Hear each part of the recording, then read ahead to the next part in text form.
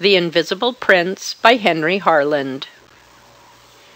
At a masked ball given by the Countess Wohenhoffen in Vienna during Carnival week a year ago, a man draped in the embroidered silks of a Chinese mandarin, his features entirely concealed by an enormous Chinese head in cardboard, was standing in the Winter Garten the big, dimly lighted conservatory near the door of one of the gilt and white reception rooms, rather a stolid seeming witness of the multicolored romp within, when a voice behind him said: "How do you do, Mr. Field?" A woman's voice an English voice. The mandarin turned around. From a black mask a pair of blue gray eyes looked into his broad, bland Chinese face, and a black domino dropped him an extravagant little curtsy. "How do you do?" he responded. I'm afraid I'm not Mr. Field, but I'll gladly pretend I am if you'll stop and talk with me. I was dying for a little human conversation." "Oh, you're afraid you're not Mr. Field, are you?" the mask replied derisively. "Then why did you turn when I called his name?" "You mustn't hope to disconcert me with questions like that," said he. "I turned because I liked your voice." He might quite reasonably have liked her voice a delicate, clear, soft voice somewhat high in register, with an accent crisp, chiselled, concise, that suggested wit as well as distinction. She was rather tall for a woman. One could divine her slender and graceful under the voluminous folds of her domino. She moved a little away from the door, deeper into the conservatory. The mandarin kept beside her. There amongst the palms a fontaine lumineuse was playing, rhythmically changing color. Now it was a shower of rubies, now of emeralds or amethysts, of sapphires, topazes, or opals. "How pretty!" she said, "and how frightfully ingenious! I am wondering whether this wouldn't be a good place to sit down. What do you think?"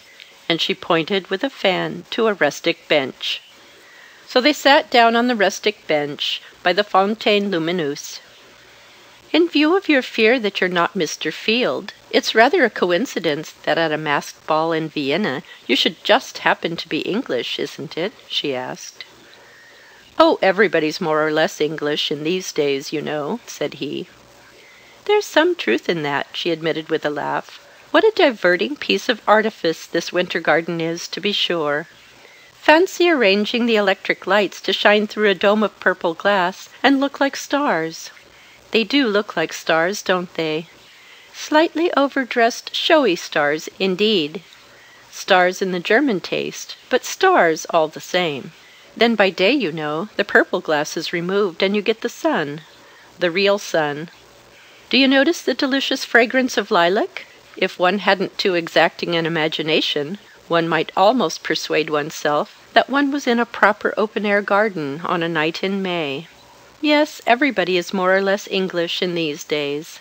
That's precisely the sort of thing I should have expected Victor Field to say." "By the by," questioned the mandarin, "if you don't mind increasing my stores of knowledge, who is this fellow Field?" "This fellow Field? Ah, who indeed?" said she. "That's just what I wish you'd tell me." "I'll tell you with pleasure after you've supplied me with the necessary data," he promised cheerfully. "Well, by some accounts, he's a little literary man in London," she remarked. "Oh, come! You never imagined that I was a little literary man in London," protested he. "You might be worse," she retorted. "However, if the phrase offends you, I'll say a rising young literary man instead. He writes things, you know." "Poor chap, does he? But then, that's a way they have. Sizing up literary persons?" His tone was interrogative. "Doubtless," she agreed. "Poems and stories and things. And book reviews, I suspect. And even, perhaps, leading articles in the newspapers." "Tout la lire enfin? What they call a penny a liner?" "I'm sure I don't know what he's paid. I should think he'd get rather more than a penny. He's fairly successful. The things he does aren't bad," she said. "I must look him up," said he. But meantime, will you tell me how you came to mistake me for him? Has he the Chinese type?" Besides, what on earth should a little London literary man be doing at the Countess Wohenhoffen's? He was standing near the door over there, she told him sweetly, dying for a little human conversation, till I took pity on him. No, he hasn't exactly the Chinese type, but he's wearing a Chinese costume, and I should suppose he'd feel uncommonly hot in that exasperatingly placid Chinese head. I'm nearly suffocated, and I'm only wearing a loop. For the rest, why shouldn't he be here? If your loop bothers you, pray take it off. Don't mind me, he urged gallantly. You're extremely good, she responded. But if I should take off my loop, you'd be sorry. Of course, manlike, you're hoping that I'm young and pretty. Well, aren't you? I'm a perfect fright. I'm an old maid. Thank you. Manlike, I confess I was hoping you'd be young and pretty. Now my hope has received the strongest confirmation. I'm sure you are, he declared triumphantly. Your argument, with a meretricious air of subtlety, is facile and superficial. Don't pin your faith to it. Why shouldn't Victor Field be here? she persisted. The Countess only receives tremendous swells. It's the most exclusive house in Europe. Are you a tremendous swell? she wondered. Rather, he asseverated. Aren't you? She laughed a little and stroked her fan, a big fan, a big fan of fluffy black feathers. That's very jolly, said he. What? said she. That thing in your lap. My fan? I expect you'd call it a fan. For goodness sake, what would you call it? cried she. I should call it a fan. She gave another little laugh. You have a nice instinct for the mot juste, she informed him. Oh, no, he disclaimed modestly. But I can call a fan a fan when I think it won't shock the sensibilities of my hearer. If the Countess only receives tremendous swells, said she, you must remember that Victor Field belongs to the aristocracy of talent. Oh, quant à ça. So, from the Wohenhoffens' point of view, do the barber and the horse leech. In this house, the aristocracy of talent dines with the butler. Is the Countess such a snob? she asked. No, she's an Austrian. They draw the line so absurdly tight in Austria. Well, then, you leave me no alternative, she argued but to conclude that Victor Field is a tremendous swell. Didn't you notice I bobbed him a curtsy? I took the curtsy as a tribute to my Oriental magnificence, he confessed. Field doesn't sound like an especially patrician name. I'd give anything to discover who you are. Can't you be induced to tell me? I'll bribe, entreat, threaten, I'll do anything you think might persuade you. I'll tell you at once if you'll own up that you're Victor Field, said she. Oh, I'll own up that I'm Queen Elizabeth if you'll tell me who you are. The end justifies the means. Then you are Victor Field? she pursued him eagerly. If you don't mind suborning perjury, why should I mind committing it? he reflected. Yes. And now who are you? No, I must have an unequivocal avowal, she stipulated. Are you or are you not Victor Field? Let us put it at this, he proposed, that I'm a good, serviceable imitation, an excellent substitute when the genuine article is not procurable. Of course, your real name isn't anything like Victor Field, she declared pensively. I never said it was, but I admire the way in which you give with one hand and take back with the other. Your real name, she began. Wait a moment. Yes, now I have it.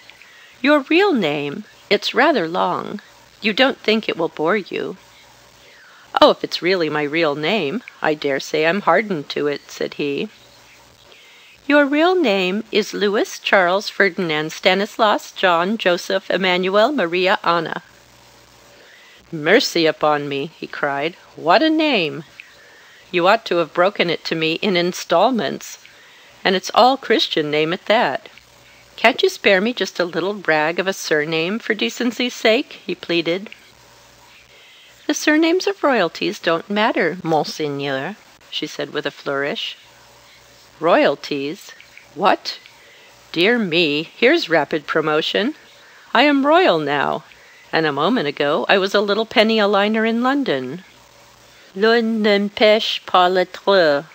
Have you never heard the story of the Invisible Prince? she asked. I adore irrelevancy, he said. I seem to have read something about an invisible prince when I was young. A fairy tale, wasn't it? The irrelevancy is only apparent. The story I mean is a story of real life. Have you ever heard of the Duke of Zeln? Zeln? Zeln? he repeated reflectively. No, I don't think so. She clapped her hands. Really, you do it admirably. If I weren't perfectly sure of my facts, I believe I should be taken in. Zeln, as any history would tell you, as any old atlas would show you, was a little independent duchy in the center of Germany. Poor dear thing. Like Jonah in the center of the whale, he murmured sympathetically. Hush! Don't interrupt. Zeln was a little independent German duchy, and the Duke of Zeln was its sovereign. After the war with France, it was absorbed by Prussia, but the ducal family still rank as Royal Highness. Of course you've heard of the Leczinskis. Lex what? said he. Leczinski, she repeated. How do you spell it? L E C Z I N S K I. Good. Capital. You have a real gift for spelling, he exclaimed. Will you be quiet, she said severely, and answer my question? Are you familiar with the name? I should never venture to be familiar with a name I didn't know, he asserted. Ah, you don't know it? You have never heard of Stanislaus Leczinska, who was King of Poland? Of Marie Leczinska, who married Louis the Sixth? Oh, to be sure. I remember the lady whose portrait one sees at Versailles. Quite so. Very well, she continued. The last representative of the Leczinskis in the elder line was the Princess Anna Leczinska, who in 1858 married the Duke of Zeln. She was the daughter of John Leczinski, Duke of Grodnia and Governor of Galicia, and of the Archduchess Henrietta d'Este, a cousin of the Emperor of Austria. She was also a great heiress, and an extremely handsome woman. But the Duke of Zeln was a bad lot, a viveur, a gambler, a spendthrift. His wife, like a fool, made her entire fortune over to him, and he proceeded to play ducks and drakes with it. By the time their son was born, he'd got rid of the last farthing. Their son wasn't born till sixty three, five years after their marriage. Well, and then what do you suppose the Duke did? Reformed, of course. The wicked husband always reforms when a child is born and there's no more money, he generalized. You know perfectly well what he did, said she. He petitioned the German Diet to annul the marriage. You see, having exhausted the dowry of Princess Anna, it occurred to him that if she could only be got out of the way, he might marry another heiress and have the spending of another fortune. Clever dodge, he observed. Did it come off? It came off all too well. He based his petition on the ground that the marriage had never been I forget what the technical term is. Anyhow, he pretended that the princess had never been his wife except in name, and that the child couldn't possibly be his. The Emperor of Austria stood by his connection like the royal gentleman he is, used every scrap of influence he possessed to help her.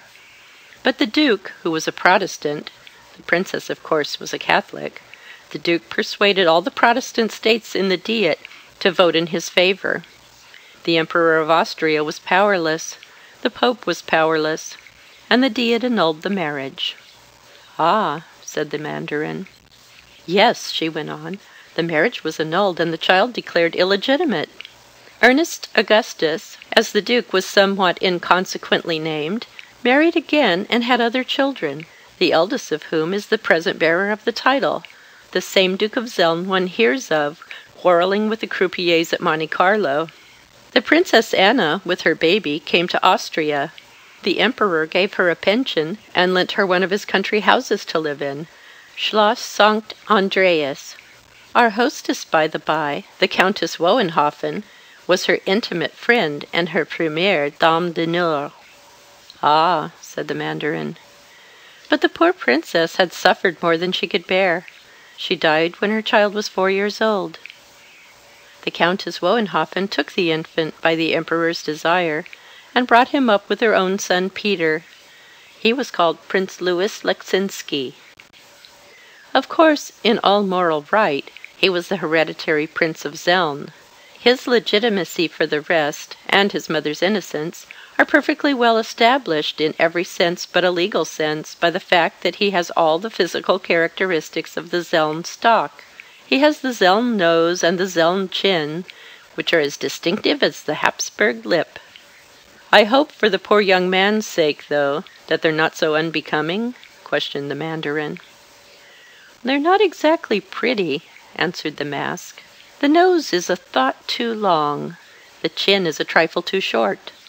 However, I dare say the poor young man is satisfied. As I was about to tell you, the Countess Wohenhoffen brought him up, and the Emperor destined him for the church. He even went to Rome and entered the Austrian college. He'd have been on the high road to a cardinalate by this time if he'd stuck to the priesthood, for he had a strong interest, but lo and behold, when he was about twenty, he chucked the whole thing up. Ah, histoire de femme? Very likely, she assented, though I've never heard anyone say so. At all events, he left Rome and started upon his travels. He had no money of his own, but the emperor made him an allowance.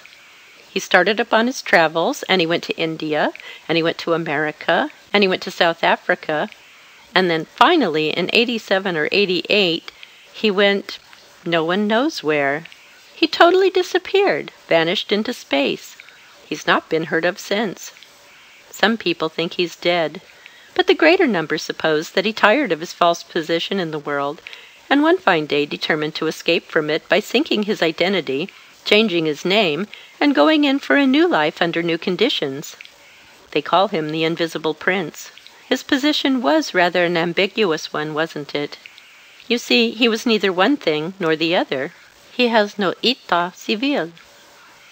In the eyes of the law he was a bastard, yet he knew himself to be the legitimate son of the Duke of Zeln. He was a citizen of no country, yet he was the rightful heir to a throne. He was the last descendant of Stanislaus Leczinski, yet it was without authority that he bore his name. And then, of course, the rights and wrongs of the matter were only known to a few. The majority of people simply remembered that there had been a scandal. And, as a wag once said of him, wherever he went, he left his mother's reputation behind him. No wonder he found the situation irksome. Well, there is the story of the Invisible Prince. And a very exciting melodramatic little story, too. For my part, I suspect your prince met a boojum. I love to listen to stories. Won't you tell me another? Do, please, he pressed her. No, he didn't meet a boojum, she returned. He went to England and set up for an author. The Invisible Prince and Victor Field are one and the same person. Oh, I say, not really, he exclaimed. Yes, really. What makes you think so? he wondered. I'm sure of it, said she. To begin with, I must confide to you that Victor Field is a man I've never met." "Never met!" he gasped. "But by the blithe way in which you were laying his sins at my door a little while ago, I supposed you were sworn confederates." "What's the good of masked balls if you can't talk to people you've never met?" she submitted. "I've never met him, but I'm one of his admirers. I like his little poems. And I'm the happy possessor of a portrait of him. It's a print after a photograph. I cut it from an illustrated paper." "I really almost wish I was Victor Field," he sighed. "I should feel such a glow of gratified vanity." "And the Countess Wohenhoffen," she added, "has at least twenty portraits of the Invisible Prince photographs, miniatures, life size paintings, taken from the time he was born almost, to the time of his disappearance. Victor Field and Louis Leczinski have countenances as like each other as two halfpence." "An accidental resemblance, doubtless." "No, it isn't an accidental resemblance," she affirmed. "Oh, then you think it's intentional?" he quizzed. "Don't be absurd. I might have thought it accidental, except for one or two odd little circumstances. Primo, Victor Field is a guest at the Wohenhoffens' ball." "Oh, he is a guest here?" "Yes, he is," she said. "You are wondering how I know. Nothing simpler. The same costumier who made my domino supplied his Chinese dress. I noticed it at his shop. It struck me as rather nice, and I asked whom it was for. The costumier said, for an Englishman at the Hotel de Bade. Then he looked in his book and told me the Englishman's name. It was Victor Field.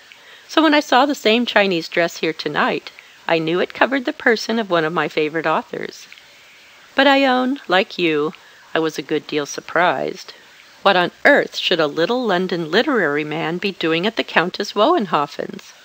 And then I remembered the astonishing resemblance between Victor Field and Louis Leczinski. And I remembered that to Louis Leczinski the Countess Wohenhoffen had been a second mother.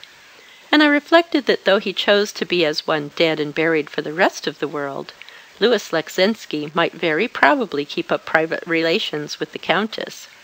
He might very probably come to her ball incognito and safely masked. I observed also that the Countess's rooms were decorated throughout with white lilac.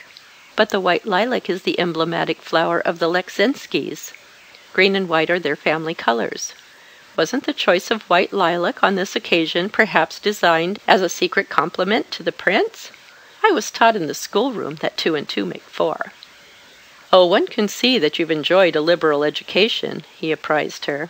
But where were you taught to jump to conclusions? You do it with a grace, an assurance.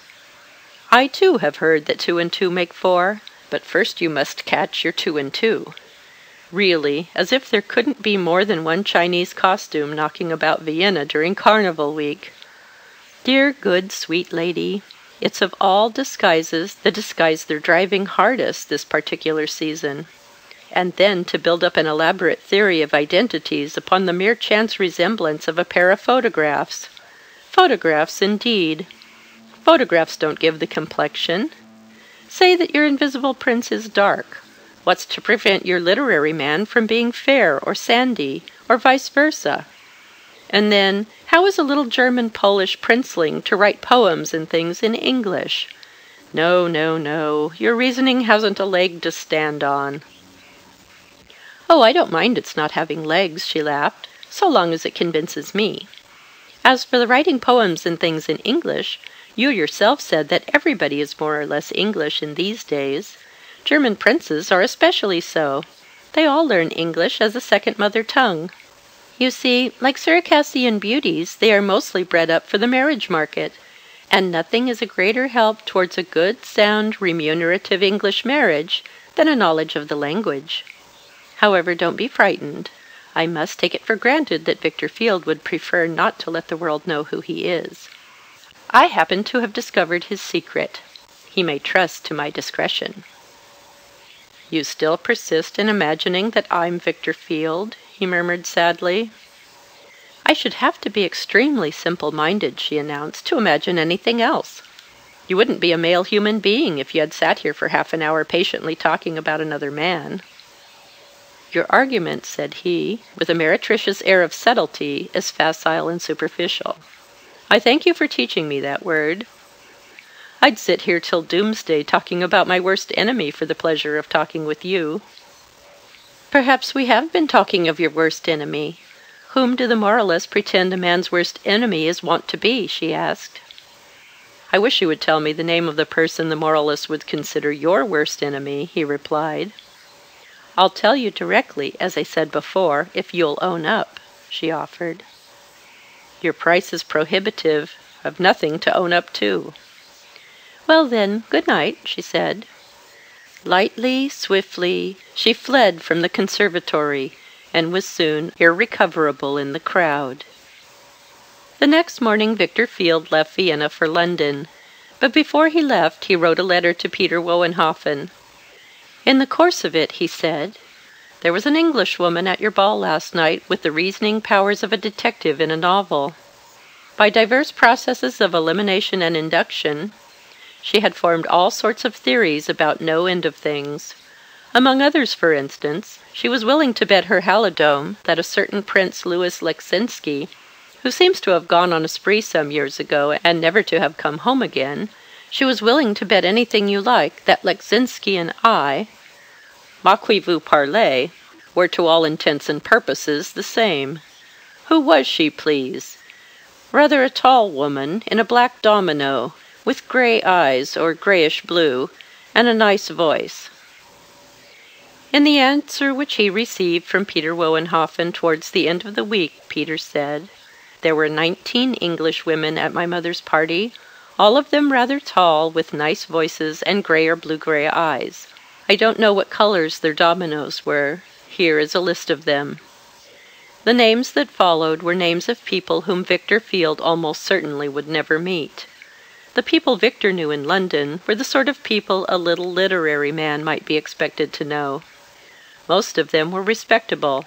Some of them even deemed themselves rather smart, and patronized him right Britishly. But the nineteen names in Peter Wohenhoffen's list "Oh me, oh my!" cried Victor, were names to make you gasp. All the same, he went a good deal to Hyde Park during the season, and watched the driving. Which of all those haughty high born beauties is she? he wondered futilely. And then the season passed, and then the year, and little by little, of course, he ceased to think about her. One afternoon last May, a man, habited in accordance with the fashion of the period, stopped before a hairdresser's shop in Knightsbridge somewhere, and, raising his hat, bowed to the three waxen ladies who simpered from the window. "Oh, it's Mr. Field!" a voice behind him cried. "What are those cryptic rites that you're performing? What on earth are you bowing into a hairdresser's window for?" A smooth, melodious voice, tinged by an inflection that was half ironical, half bewildered. "I was saluting the type of English beauty," he answered, turning.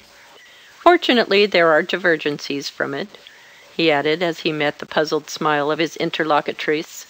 A puzzled smile, indeed, but, like the voice, by no means without its touch of irony.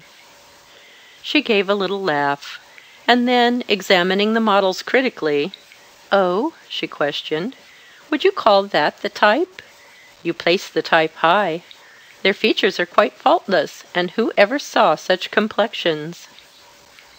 "It's the type all the same," said he, "just as the imitation marionette is the type of English breeding." "The imitation marionette? I'm afraid I don't follow," she confessed. "The imitation marionettes. You've seen them at little theatres in Italy. They're actors who imitate puppets men and women who try to behave as if they weren't human, as if they were made of starch and whalebone instead of flesh and blood." "Ah, yes," she assented, with another little laugh. "That would be rather typical of our insular methods. But do you know what an engaging, what a reviving spectacle you presented as you stood there flourishing your hat? What do you imagine people thought? And what would have happened to you if I had just chanced to be a policeman instead of a friend?" "Would you have clapped your handcuffs on me?" he inquired. I suppose my conduct did seem rather suspicious. I was in the deepest depths of dejection. One must give some expression to one's sorrow. "Are you going towards Kensington?" she asked, preparing to move on. "Before I commit myself, I should like to be sure whether you are," he replied. You can easily discover with a little perseverance." He placed himself beside her, and together they walked towards Kensington. She was rather taller than the usual woman, and slender. She was exceedingly well dressed. Smartly, becomingly, a jaunty little hat of strangely twisted straw, with an aigrette springing defiantly from it; a jacket covered with mazes and labyrinths of embroidery; at her throat a big knot of white lace, the ends of which fell winding in a creamy cascade to her waist. Did they call that thing a jabot? And then but what can a man trust himself to write of these esoteric matters? She carried herself extremely well, too, with grace, with distinction, her head held high, even thrown back a little, superciliously. She had an immense quantity of very lovely hair. Red hair? Yellow hair? Red hair with yellow lights burning in it? Yellow hair with red fires shimmering through it? In a single, loose, full billow, it swept away from her forehead and then flowed into a half a thousand rippling, crinkling, capricious undulations. And her skin had the sensitive coloring, the fineness of texture, that are apt to accompany red hair when it's yellow, yellow hair when it's red. Her face, with its pensive, quizzical eyes, its tip tilted nose, its rather large mouth, and the little mocking quirks and curves the lips took, with an alert, arch, witty face, a delicate, high bred face, and withal a somewhat sensuous, emotional face the face of a woman with a vast deal of humor in her soul, a vast deal of mischief of a woman who would love to tease you and mystify you and lead you on, and put you off, and yet who, in her own way, at her own time, would know supremely well how to be kind. But it was mischief rather than kindness that glimmered in her eyes at present, as she asked, "You are in the deepest depths of dejection? Poor man! Why?"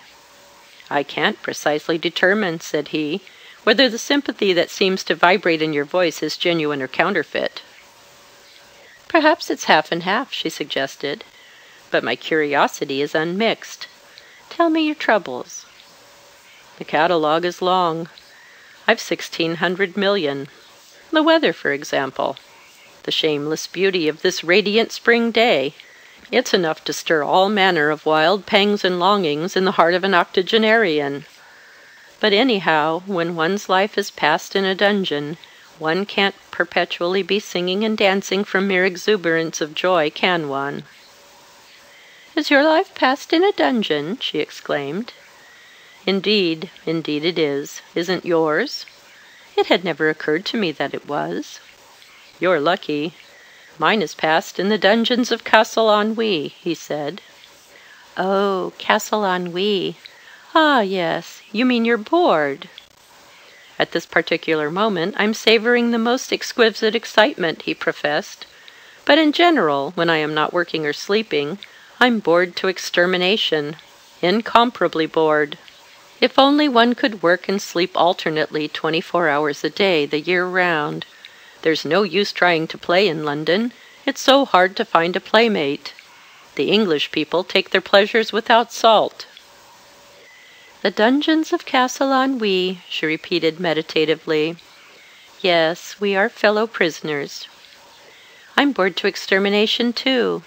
Still," she added, "one is allowed out on parole now and again, and sometimes one has really quite delightful little experiences." "It would ill become me, in the present circumstances, to dispute that," he answered, bowing. "But the castle waits to reclaim us afterwards, doesn't it?" she mused. That's rather a happy image, Castle Ennui." "I'm extremely glad you approve of it. Castle Ennui is the Bastille of modern life. It's built of prunes and prisms. It has its outer court of convention and its inner court of propriety. It is moated round by respectability, and the shackles its inmates wear are forged of dull little duties and arbitrary little rules. You can only escape from it at the risk of breaking your social neck or remaining a fugitive from social justice to the end of your days. Yes, it is a fairly decent little image." "A bit out of something you're preparing for the press?" she hinted. "Oh, how unkind of you!" he cried. "It was absolutely extemporaneous." "One can never tell, with vous autres gens de lettres," she laughed. "It would be friendlier to say, nous autres gens d'esprit he submitted. "Aren't we proving to what degree nous autres gens d'esprit sont bêtes?" she remarked, "by continuing to walk along this narrow pavement, when we can get into Kensington Gardens by merely crossing the street?" "Would it take you out of your way?" "I have no way. I was sauntering for pleasure, if you can believe me. I wish I could hope that you have no way either. Then we could stop here and crack little jokes together the livelong afternoon," he said, as they entered the gardens.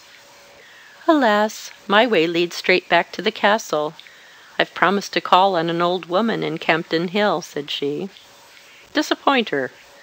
It's good for old women to be disappointed. It whips up their circulation. I shouldn't much regret disappointing the old woman, she admitted, and I should rather like an hour or two of stolen freedom. I don't mind owning that I've generally found you, as men go, a moderately interesting man to talk with. But the deuce of it is you permit the expression? I'm devoted to the expression. The deuce of it is, I'm supposed to be driving, she explained. Oh, that doesn't matter. So many suppositions in this world are baseless, he reminded her. But there's the prison van, she said. It's one of the tiresome rules in the female wing of Castle Ennui that you're always supposed, more or less, to be driving. And though you may cheat the authorities by slipping out of the prison van directly it's turned the corner and sending it on ahead, there it remains, a factor that can't be eliminated. The prison van will relentlessly await my arrival in the old woman's street. That only adds to the sport. Let it wait. When a factor can't be eliminated, it should be haughtily ignored. Besides, there are higher considerations. If you leave me, what shall I do with the rest of this weary day? You can go to your club. He threw up his hand. Merciful lady, what sin have I committed? I never go to my club except when I've been wicked, as a penance. If you will permit me to employ a metaphor oh, but a tried and trusty metaphor when one ship on the sea meets another in distress, it stops and comforts it, and forgets all about its previous engagements and the prison van and everything. Shall we cross to the north and see whether the Serpentine is in its place? Or would you prefer to inspect the eastern front of the palace? Or may I offer you a penny chair? I think a penny chair would be the maddest of the three dissipations, she decided. And they sat down in penny chairs. It's rather jolly here, isn't it? said he. The trees with their black trunks and their leaves and things. Have you ever seen such sumptuous foliage? and the greenwood and the shadows and the sunlight and the atmosphere and the mistiness. Isn't it like pearl dust and gold dust floating in the air? It's all got up to imitate the background of a Watteau. We must do our best to be frivolous and ribald, and supply a proper foreground. How big and fleecy and white the clouds are! Do you think they're made of cottonwood? And what do you suppose they paint the sky with? There never was such a brilliant, breath-taking blue. It's much too nice to be natural.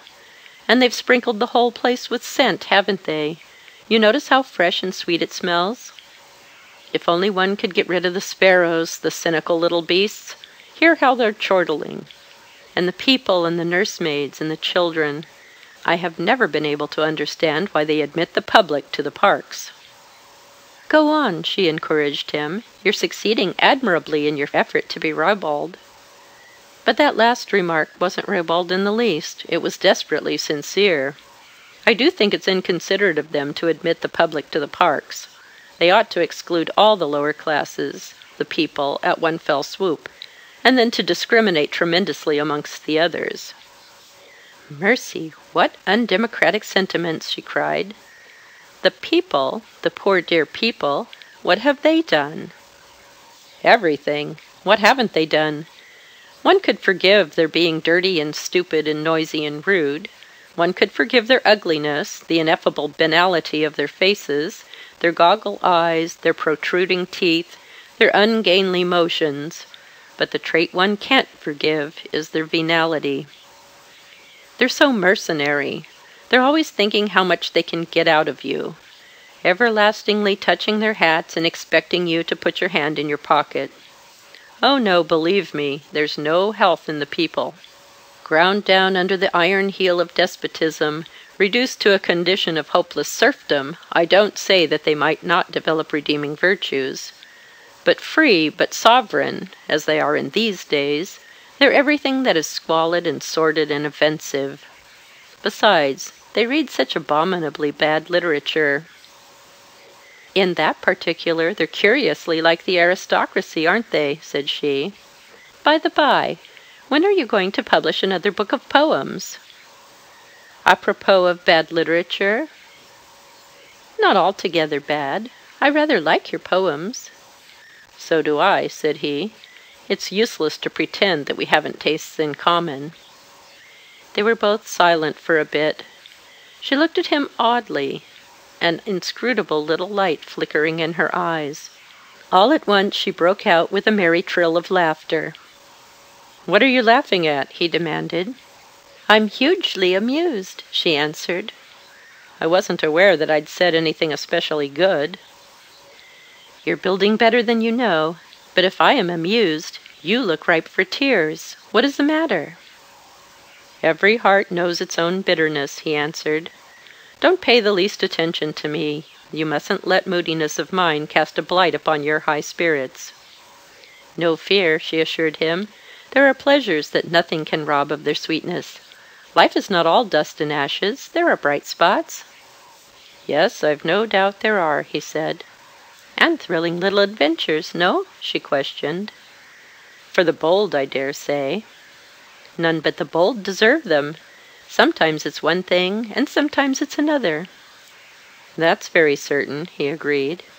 "Sometimes, for instance," she went on, "one meets a man one knows, and speaks to him, and he answers with a glibness. And then, almost directly, what do you suppose one discovers?" "What?" he asked. "One discovers that the wretch hasn't a ghost of a notion who one is that he's totally and absolutely forgotten one." "Oh, I say! Really?" he exclaimed. "Yes, really. You can't deny that that's an exhilarating little adventure." "I should think it might be. One could enjoy the man's embarrassment," he reflected. Or his lack of embarrassment. Some men are of an assurance, a sang froid. They'll place themselves beside you, and walk with you, and talk with you, and even propose that you should pass the livelong afternoon cracking jokes with them in a garden, and never breathe a hint of their perplexity. They'll brazen it out. "That's distinctly heroic Spartan of them, don't you think?" he said. "Intentionally, poor dears. They're very likely suffering agonies of discomfiture." "We'll hope they are. Could they decently do less?" Said she. "And fancy the mental struggles that must be going on in their brains," he urged. "If I were a man in such a situation, I'd throw myself upon the woman's mercy. I'd say, 'Beautiful, sweet lady, I know I know you. Your name your entirely charming and appropriate name is trembling on the tip of my tongue, but for some unaccountable reason my brute of a memory chooses to play the fool. If you've a spark of Christian kindness in your soul, you'll come to my rescue with a little clue." "If the woman had a Christian sense of the ridiculous in her soul, I fear you'd throw yourself on her mercy in vain," she warned. "What is the good of tantalizing people? Besides," she continued, "the woman might reasonably feel slightly humiliated to find herself forgotten in that barefaced manner. The humiliation would be surely all the man's. Have you heard from the Wohenhoffens lately?" "The what? The who?" She raised her eyebrows. "The Wohenhoffens," he repeated. "What are the Wohenhoffens? Are they persons? Are they things?" "Oh, nothing. My inquiry was merely dictated by a thirst for knowledge.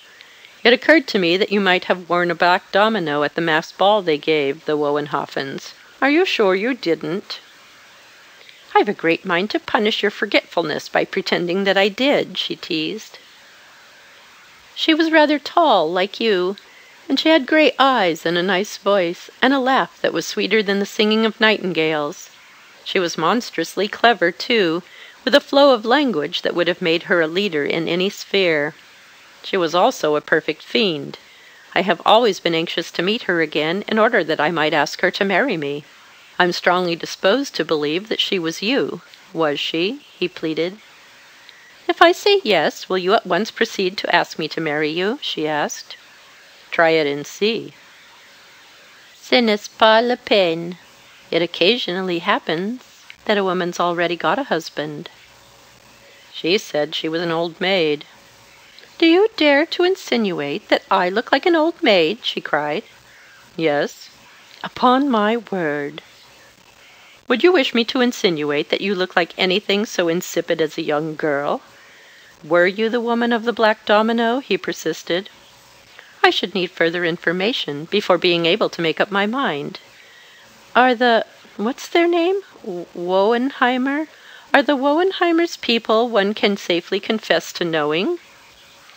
"Oh, you're a man and don't count. But a woman it sounds a trifle Jewish, Wohenheimer. But of course there are Jews and Jews." "You're playing with me, like the cat in the adage," he sighed. "It's too cruel. No one is responsible for his memory."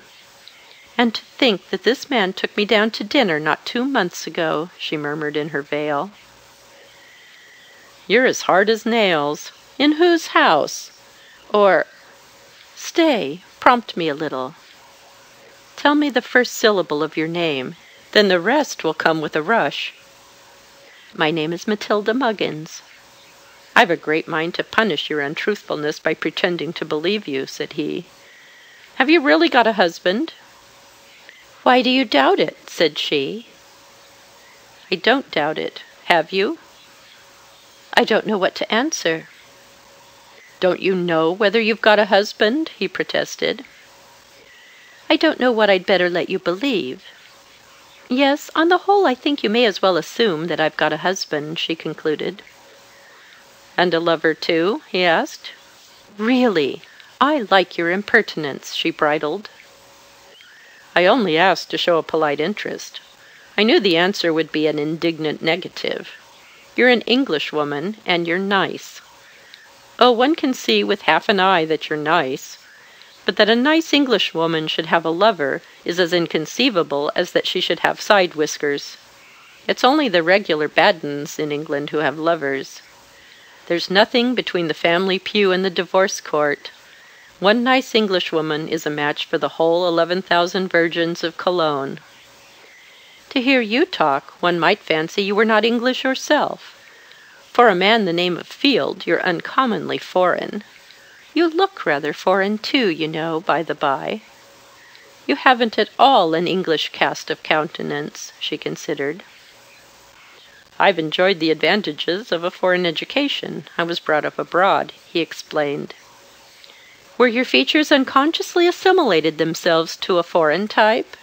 Where you learned a hundred thousand strange little foreign things, no doubt, and imbibed a hundred thousand unprincipled little foreign notions? "And all the ingenious little foreign prejudices and misconceptions concerning England?" she questioned. "Most of them," he assented. "Perfida Albion English hypocrisy?" she pursued. "Oh yes, the English are consummate hypocrites. But there's only one objection to their hypocrisy. It so rarely covers any wickedness. It's such a disappointment to see a creature stalking toward you laboriously draped in sheep's clothing, and then to discover that it's only a sheep. You, for instance, as I took the liberty of intimating a moment ago, in spite of your perfectly respectable appearance, are a perfectly respectable woman. If you weren't, wouldn't I be making furious love to you, though? As I am, I can see no reason why you shouldn't make furious love to me if it would amuse you. There's no harm in firing your pistol at a person who's bullet proof," she laughed. "No, it's merely a wanton waste of powder and shot," said he. "However, I shouldn't stick at that. The deuce of it is you permit the expression?" "I'm devoted to the expression." "The deuce of it is, you profess to be married." "Do you mean to say that you, with your unprincipled foreign notions, would be restrained by any such consideration as that?" she wondered. "I shouldn't be for an instant if I weren't in love with you." "Comment donc? Déjà?" she cried with a laugh.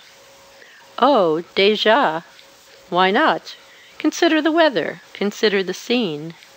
Is the air soft, is it fragrant? Look at the sky good heavens! and the clouds, and the shadows on the grass, and the sunshine between the trees. The world is made of light to day, of light and color, and perfume and music.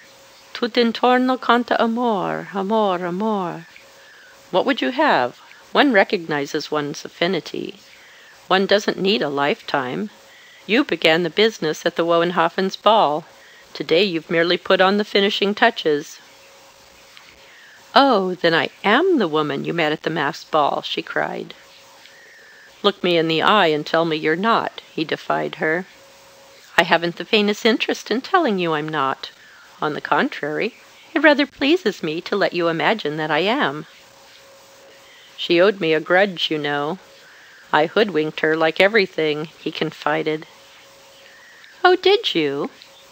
Then as a sister woman I should be glad to serve as her instrument of vengeance. Do you happen to have such a thing as a watch about you?" she inquired. "Yes," he said. "Will you be good enough to tell me what o'clock it is?" "What are your motives for asking?" "I'm expected home at five." "Where do you live?" "What are the motives for asking?" "I want to call upon you." "You might wait till you're invited." "Well, invite me quick!" "Never." "Never?" "Never, never, never!" she asseverated. "A man who's forgotten me as you have." "But if I've only met you once at a masked ball!" "Can't you be brought to realize that every time you mistake me for that woman of the masked ball you turn the dagger in the wound?" she demanded. "But if you won't invite me to call upon you, how and when am I to see you again?" "I haven't an idea," she answered cheerfully. "I must go now. Good bye." She rose. "One moment," he interposed. "Before you go, will you allow me to look at the palm of your left hand?" "What for?" "I can tell fortunes. I'm extremely good at it," he boasted. "I'll tell you yours." "Oh, very well," she assented, sitting down again, and guilelessly she pulled off her glove. He took her hand a beautifully slender, nervous hand, warm and soft, with rosy, tapering fingers. "Oho! You are an old maid after all!" he cried. "There's no wedding ring." "You villain!" she gasped, snatching the hand away. "I promised to tell your fortune. Haven't I told it correctly?" "You needn't rub it in, though. Eccentric old maids don't like to be reminded of their condition." Will you marry me?" "Why do you ask?" "Partly for curiosity. Partly because it's the only way I can think of to make sure of seeing you again. And then I like your hair. Will you?" "I can't," she said. "Why not?" "The stars forbid. And I am ambitious. In my horoscope it is written that I shall either never marry at all, or marry royalty. "Oh, bother ambition! Cheat your horoscope. Marry me. Will you?" "If you care to follow me," she said, rising again, "you can come and help me commit a little theft." He followed her to an obscure and sheltered corner of a flowery path, where she stopped before a bush of white lilac. "There are no keepers in sight, are there?" she questioned. "I don't see any," he said. "Then allow me to make you a receiver of stolen goods said she, breaking off a spray and handing it to him. "Thank you, but I'd rather have an answer to my question." "Isn't that an answer?" "Is it?" "White lilac. To the Invisible Prince?" "The Invisible Prince? Then you are the Black Domino!" he exclaimed. "Oh, I suppose so," she consented. "And you will marry me?" I'll tell the aunt I live with to ask you to dinner. But will you marry me? I thought you wished me to cheat my horoscope." "How could you find a better means of doing so?" "What? If I should marry Louis Leczinski?" "Oh, to be sure. You will have it that I was Louis Leczinski. But on that subject I must warn you seriously." "One instant," she interrupted. People must look other people straight in the face when they're giving serious warnings. Look straight into my eyes and continue your serious warning." "I must really warn you seriously," said he, biting his lip, "that if you persist in that preposterous delusion about my being Louis Leczinski, you'll be most awfully sold. I have nothing on earth to do with Louis Leczinski. Your ingenious little theories, as I tried to convince you at the time, were absolute romance." Her eyebrows raised a little, she kept her eyes fixed steadily on his oh, in the drollest fashion, with a gaze that seemed to say, "How admirably you do it! I wonder whether you imagine I believe you? Oh, you fibber! Aren't you ashamed to tell me such abominable fibs?" They stood still, eyeing each other thus, for something like twenty seconds, and then they both laughed and walked on.